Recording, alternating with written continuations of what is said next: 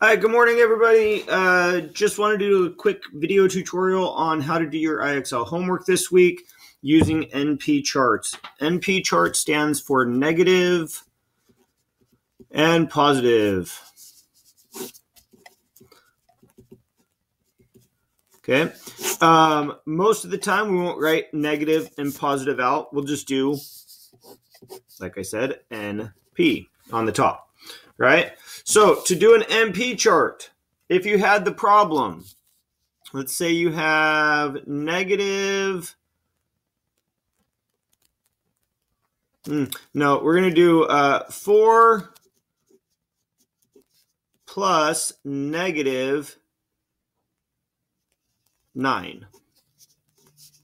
Okay, so if you have that type of a problem, 4 plus negative 9, you ask yourself, okay, if this was like a scoreboard for for a game, for a sports game, something like that, right? We'll say baseball or football, something like that. Okay, how many points did the negative team score? The negative team scored nine points, right? Negative nine points, right? Or not negative nine points. The negative team scored nine points. So we're just going to put nine for negative. We're not going to put negative nine, right? It's just the negative team scored nine points. Okay, the positive team, they scored four points. So we're going to put four on the positive side, right? So positive, negative. Right? Okay, well, which team won?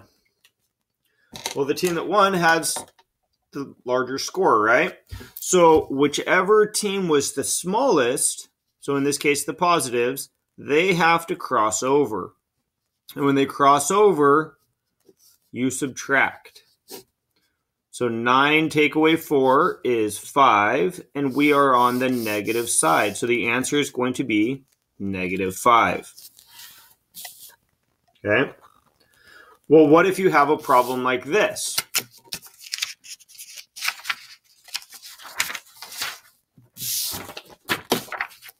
What if you have a problem where it's negative 8 plus negative 3?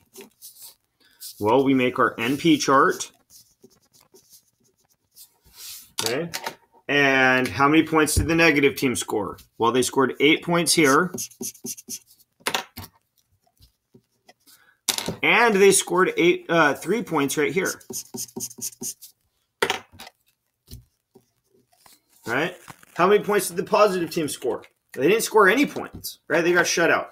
So what you do, no points are crossing over the middle line here, right?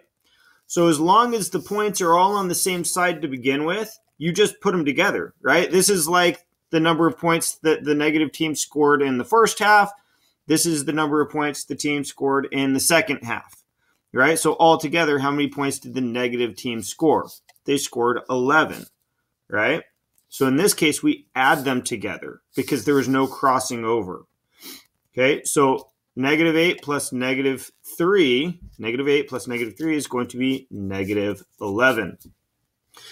Well, what if it was the same thing except for all positive? Well, that's what you guys have done since kindergarten, right? That's just 8 plus 3. Well, 8 plus 3 is 11.